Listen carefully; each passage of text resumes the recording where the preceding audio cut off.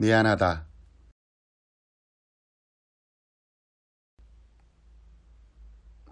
사람은 미안함을 압니다. 사람과 동물이 다른 점 중 상대에 대한 미안함을 가지는 양심이라는 것이 있다는 것입니다. 미안함, 죄송함, 송구스러움. 사람만이 가질 수 있는 상대에 대한 최소한의 배려이기도 합니다. 동물은 미안함을 모릅니다. 먹이를 먹기 전에 그 먹이를 조롱하는 동물도 있지만 미안해 하지는 않습니다. 지난 선거 기간 동안 같이 촛불을 들고 같이 조국 수호 검찰 개혁을 부르짖었던 동료에서 한때 적이 아닌 적이 되어버린 것 같은 편에게 맞은 상처는 아물기가 참 힘듭니다. 그 이유가 바로 미안하다. 그 짧은 한마디조차 없기 때문일지 모릅니다. 열린민주당 최강욱 대표와 문재인 대통령의 7분간의 긴 통화 후 더불어민주당은 열린민주당과의 관계 설정에 있어 깊은 고민에 빠진 듯 합니다. 배신자 취급을 했고 심지어 누군가는 국민의당과 같다고 했습니다. 정가에 알려진 소식에 의하면 7분간의 통화 내용 중 기사화된 내용은 짧은 2분여의 내용뿐이었습니다. 통화로 7분은 꽤나 긴 시간입니다. 그 오간 내용의 일부가 설왕설래를 불러일으키고 있다고 합니다. 특히 민주당은 매우 곤혹스러워하는 분위기인 듯 합니다. 민주당은 당분간 열린민주당과 냉각기가 필요하다는 입장이었습니다.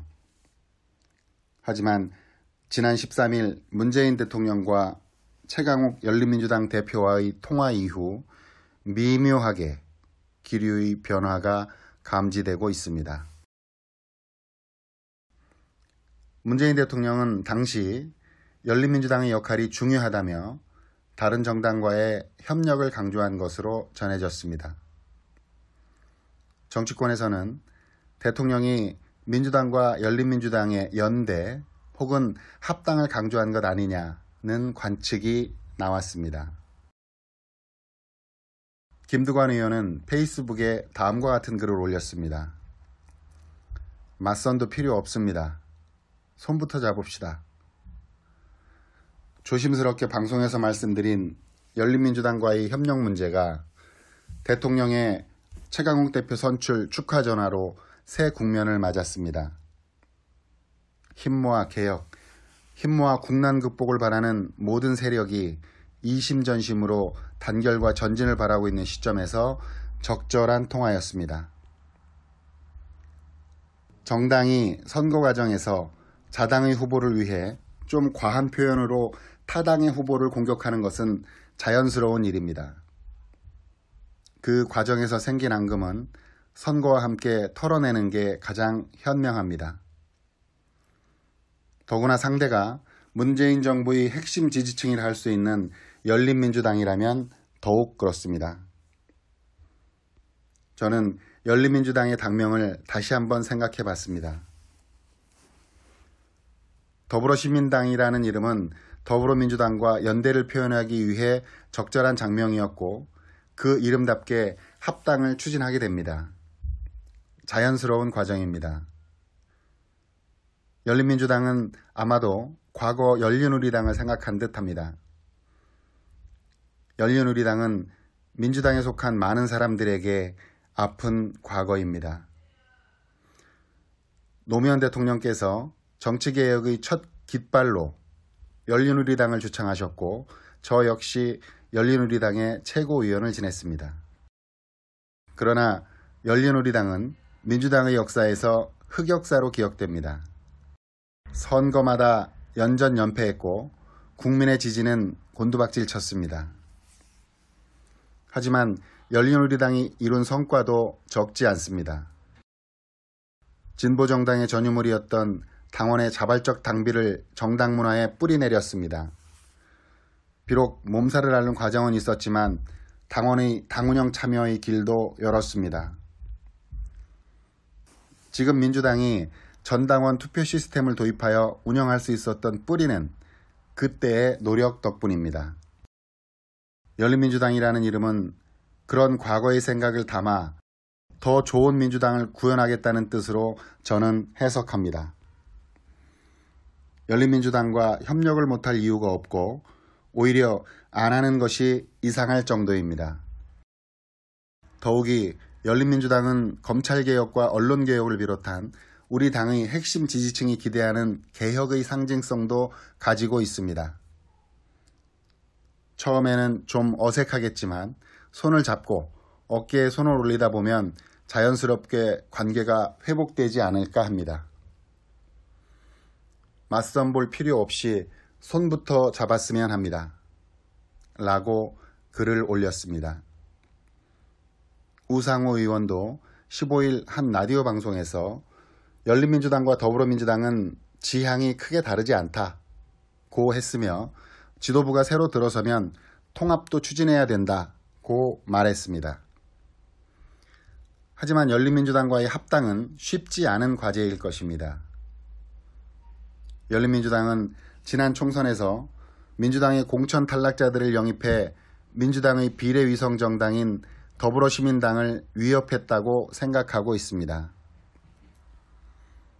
민주당 이해찬 대표는 총선이 끝나도 합당은 없을 것 이라며 선을 긋기도 했습니다.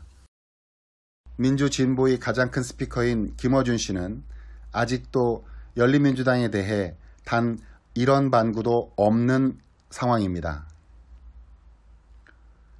심지어 그가 사회를 보고 있는 청취율 1위의 뉴스 공장에서 문재인 대통령과 최강욱 대표와의 통화 내용도 언급조차 하지 않았습니다.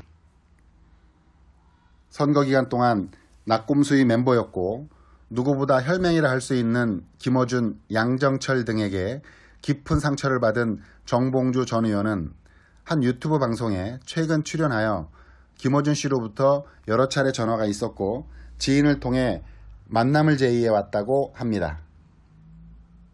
하지만 아직 그 상처가 아물지 않았기에 쉽게 만나지 못하고 있다 했습니다.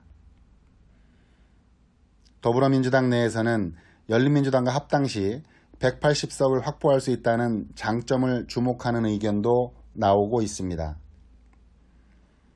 이 경우 야권과의 협력 없이 국회 패스트트랙을 단독으로 할 수 있기 때문입니다. 또 총선이 끝난 만큼 강성 친문재인 지지자 조국 전 법무부 장관 지지 세력과 협력해 기반을 넓혀야 한다는 목소리도 나오고 있습니다.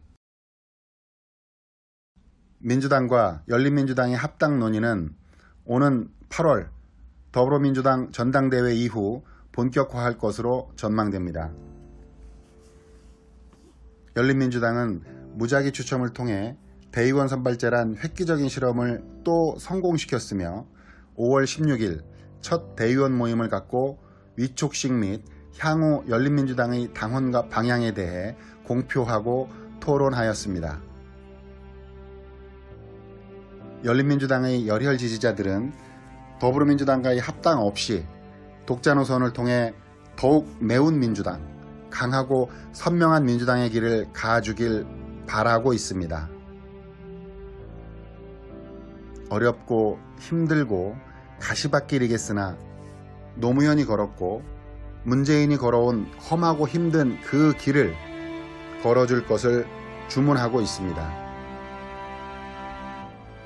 미래는 어떻게 될지 아무도 알 수 없습니다. 정도의 길을 걷다 보면 새로운 길이 열릴지 지금의 길을 계속 걸어가야 할지 알게 될 것입니다. 다만 그 길을 들어서기 전 초입까지 함께 걸어와 주었던 동료로부터 한마디를 듣고 싶을 뿐입니다. 미안하다. 그 한마디면 됩니다.